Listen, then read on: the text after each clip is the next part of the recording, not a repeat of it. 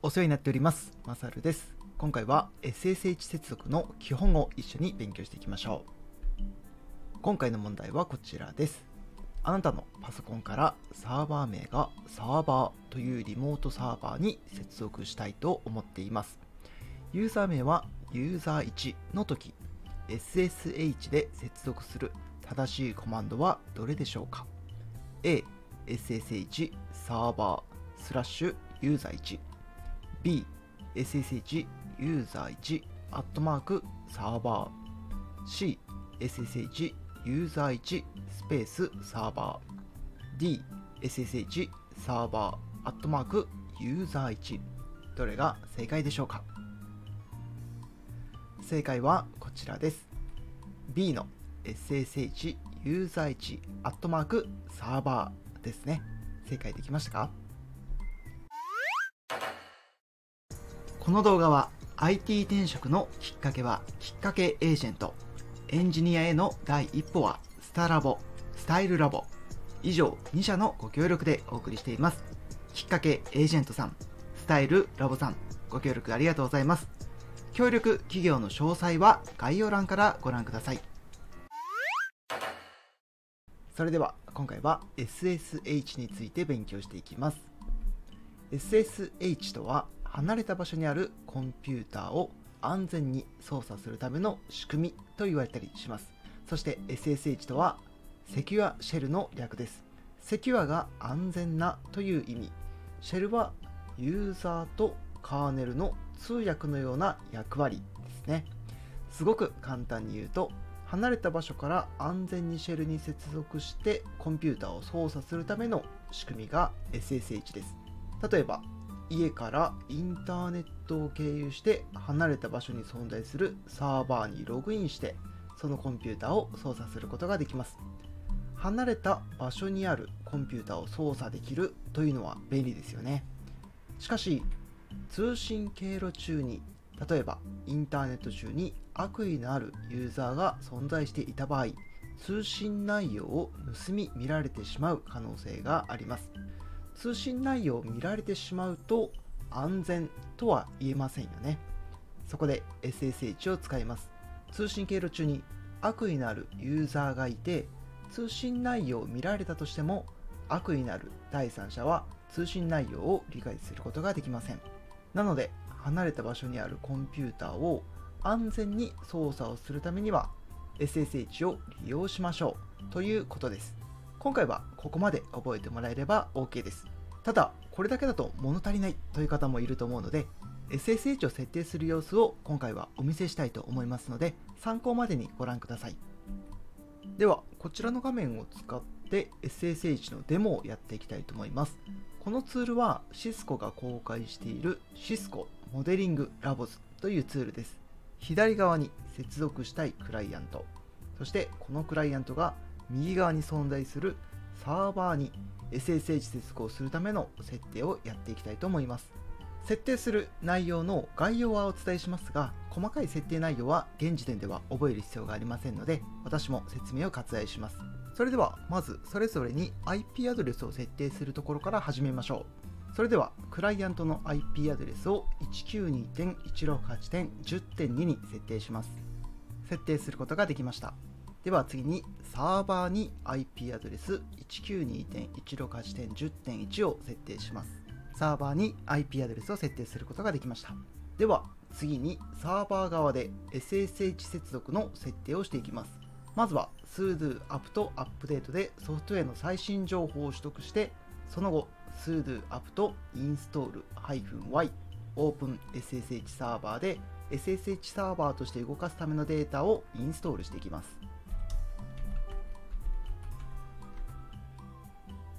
ソフトウェアの最新情報が取得できました。それでは sudo apt install -y open ssh サーバー Open SSH サーバーはすでに存在しているようです。それでは次に SSH 接続を有効化する設定と SSH を起動させる設定とそして SSH が動いているかどうか確認するコマンドを入力していきたいと思います。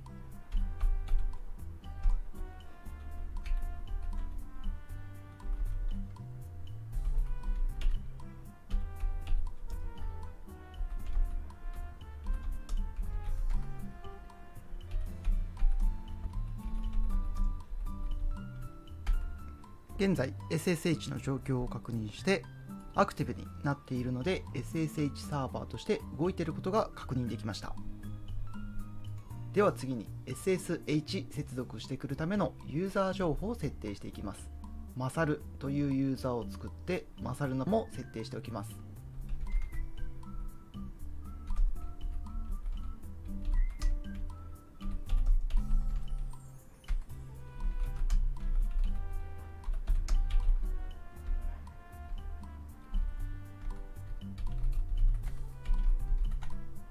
ユーザー情報が設定できました。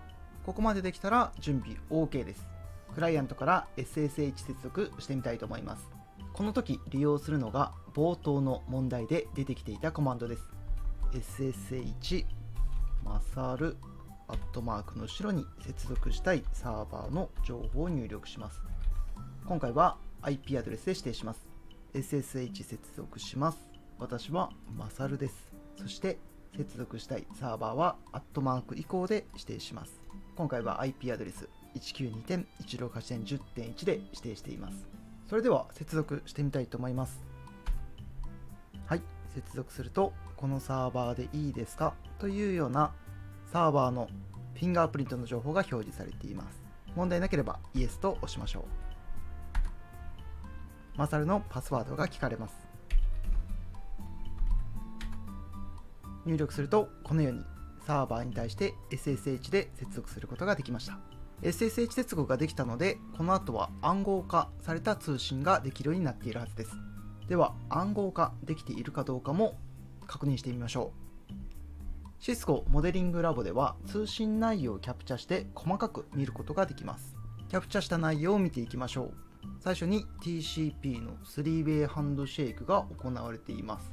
その後にクライアントとサーバー間でキーエクスチェンジというものが行われています。さらにその後にディフィー・ヘルマンを使ったキー交換も始まっていますね。今回の場合は DH 法という暗号通信をするための鍵を作っています。これは Linux では出てこないので覚えられる方だけ覚えておいてください。